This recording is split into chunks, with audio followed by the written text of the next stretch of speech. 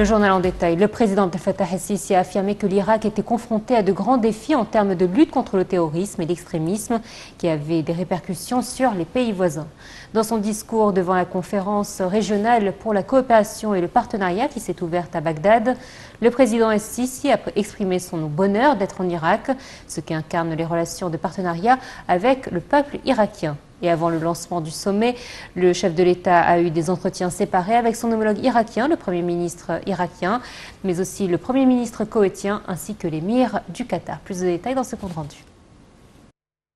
Le président Abdel Fattah el-Sisi a rencontré à Bagdad le président irakien Barham Saleh. Le président irakien a souhaité la bienvenue au président el-Sisi, soulignant sa profonde appréciation du rôle de l'Égypte soutenant l'Irak et contribuant à faire face aux défis communs. Il a également affirmé le souci de l'Irak de poursuivre la coordination et la consultation avec l'Égypte sur tous les niveaux à la lumière des relations et des liens forts entre les deux pays.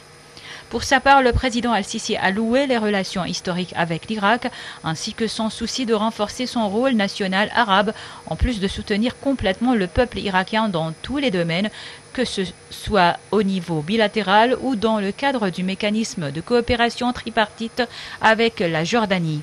Au cours de la réunion, les deux chefs d'État ont examiné les relations bilatérales ainsi que les moyens de renforcer les domaines de coopération économique, commerciale et d'investissement. Et en marge du sommet régional de Bagdad, le président al-Sisi a rencontré l'émir du Qatar, Sheikh Tamim Ben Hamad al-Thani et au cours d'une réunion avec le Premier ministre koweïtien, Sheikh Sobah Al-Khaled Al-Hamad Al-Sobah, le président Al-Sisi a affirmé la coordination étroite avec le Koweït vis-à-vis des développements survenus dans la région du Moyen-Orient, surtout que la coordination égypto-koweïtienne représentait la base essentielle pour instaurer la paix et la stabilité régionale et constituait une des priorités et des constantes de la politique égyptienne. Pour sa part, le Premier ministre koweïtien a valorisé le rôle axial joué par l'Égypte dans la région et son souci de renforcer la solidarité entre les pays arabes et de promouvoir l'action arabe Dans son discours lors de la conférence de Bagdad pour la coopération et le partenariat, le président Abdel Fattah el-Sisi a affirmé le plein refus de l'Égypte de toute forme d'intervention étrangère en Irak. Le chef de l'État a également souligné la nécessité du respect des choix du peuple irakien. Il a également exprimé son appréciation à ce qui a été réalisé à Bagdad au cours de la dernière période sous la direction du Premier ministre irakien Mustafa al-Qazemi en confirmant le soutien continu de l'Égypte au gouvernement irakien et ses institutions. Au terme de son allocution devant la conférence de Bagdad, le président al-Sisi a adressé un message au peuple irakien au cours duquel il a souligné la nécessité de préserver leur pays en coopérant à sa construction et en participant aux prochaines élections parlementaires. Le président al-Sisi était arrivé ce matin en Irak, où il a été accueilli à l'aéroport international de Bagdad par le premier ministre irakien Mustafa al-Qazemi.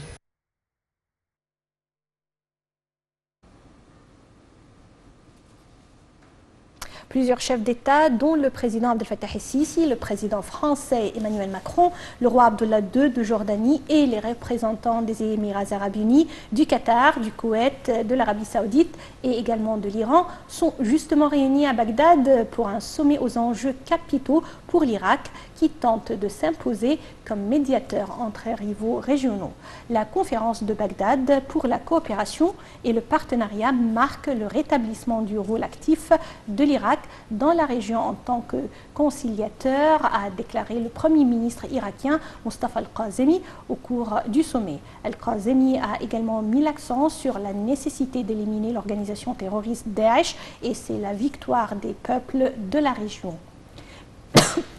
Le président français Emmanuel Macron a pour sa part appelé à ne pas baisser la garde face à Daesh, qui demeure une, menace. Intervenant devant la conférence, le roi de la Jordanie, Abdallah II, a déclaré que cette conférence reflète le souci de soutenir l'Irak, sa souveraineté et son intégralité territoriale. Le roi Abdullah, II a également affirmé que la sécurité de l'Irak constituait la sécurité de la région et la stabilité de tout le monde. L'émir du Qatar a pour sa part déclaré que l'unité de l'Irak et le renforcement de ses institutions étaient l'une des étapes les plus importantes pour la stabilité, en soulignant que son pays est prêt à soutenir le peuple irakien. Pour sa part, le Premier ministre koweïtien Cher Soubar Khaled a affirmé que la relation de l'Irak avec le Koweït démarrait à un rythme fixé et visait à renforcer les relations bilatérales en renouvelant son soutien à l'Irak pour parvenir à la paix et la stabilité et la reconstruction de l'Irak. Le secrétaire de la Ligue arabe Ahmed Aboulret a souligné que l'Irak ne restera pas seul dans sa lutte contre ces défis. Le chef du Conseil de la coopération du Golfe et le chef de l'Organisation de la coopération islamique ont également affirmé que cette conférence tentait d'apaiser les tensions régionales entre les États arabes du Golfe et l'Iran.